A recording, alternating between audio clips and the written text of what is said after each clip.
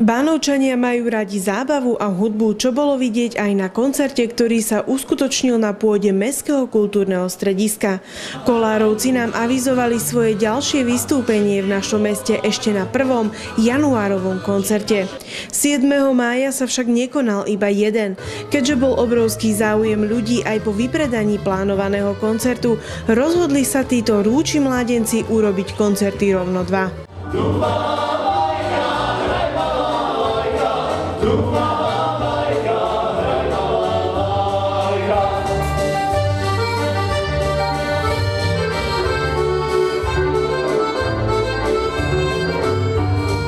Publikum bolo fantastické a sme, sme veľmi radi a prekvapení, že sa vypredala táto sála, že ľudia majú záujem o našu hudbu, majú radi našu hudbu, majú radi nás, o čom svedčí aj to, že bol vlastne dvojkoncert, tak sme mali o pol štvrtej, takisto bola fantastická atmosféra, teraz e, po druhom koncerte tá atmosféra sa dala kraja, tak sme veľmi radi jednoducho, že tí ľudia majú radi našu hudbu, majú radi nás a na oboch bola atmosféra fantastická. Aj diváci boli oveľa uvoľnenejší ako v januári.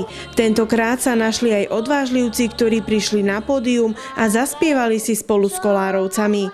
Najväčší úspech však mal tento malý tanečník a muzikant Tomáško. Musím povedať, že sme prekvapení, že na dnešnom koncerte, hlavne na tom druhom, bolo dosť veľa detí a bavili sa celkovo všetci výborne a exceloval malý Tomáško, saxofonista, on bol na našom koncerte aj v Trenčíne a vyťahol si ten svoj hračkarský a pomaly, no nepomaly, ale ozaj lepšie hral ako ja ešte.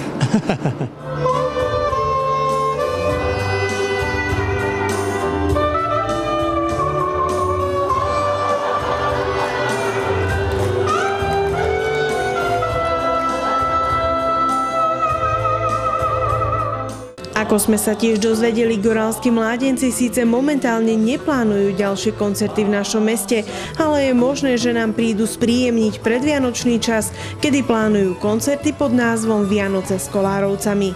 Uvidíme teda, kedy sa im podarí znova navštíviť aj bánovských fanúšikov.